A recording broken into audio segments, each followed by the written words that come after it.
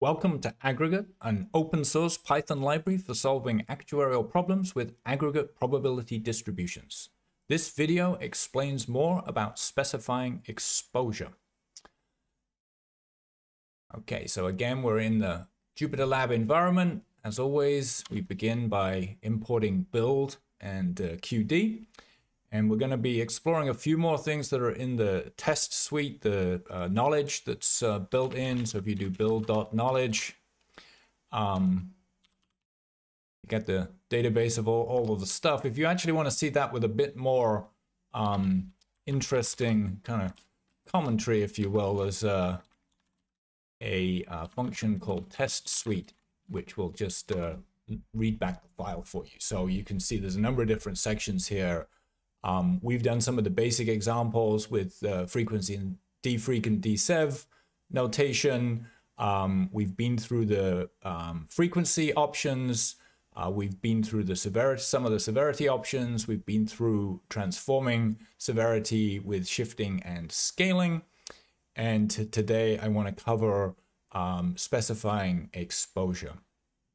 So to find those distributions, we'll do build uh, show, And uh, this actually takes a regular expression, so I can find all of the ones that are, they're all called F something, so I can find those uh, like this. And uh, as always, if we actually just want to run these to look at them, uh, we can run them with show here, and it'll crank through for us. So um, this is, goes back to my time as a reinsurance pricing actuary.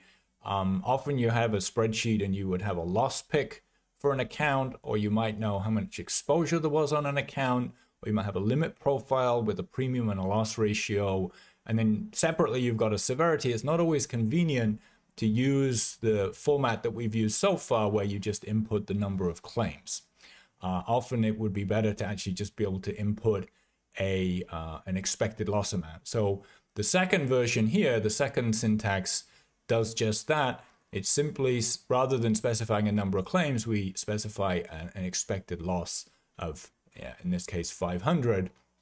And uh, now here, we don't have a limit on our um, severity distribution. It's uh, unlimited, so the severity is 50, so we're still going to get 10 claims. So this is exactly equivalent to the, the previous uh, version. And then we can also use uh, a loss, uh, that's generated from a premium and an expected loss ratio. Um, so a thousand premium or prem at a 0.5 loss ratio, um, that will give us again the exact same thing. And then a, a newer version that's not in this uh, file is you can also do uh, with a unit rate. So if you're doing something like um, commercial auto, uh, where maybe you know you've got um, say 200 uh, exposure.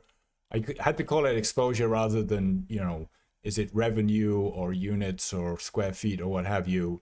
Uh, 200 exposure at, say, uh, 5,000 a unit, again, working in um, uh, working in thousands, so 5,000 rate, uh, severity uh, 50 with a CV of uh, 0.8 should be pretty lightweight for a, severity.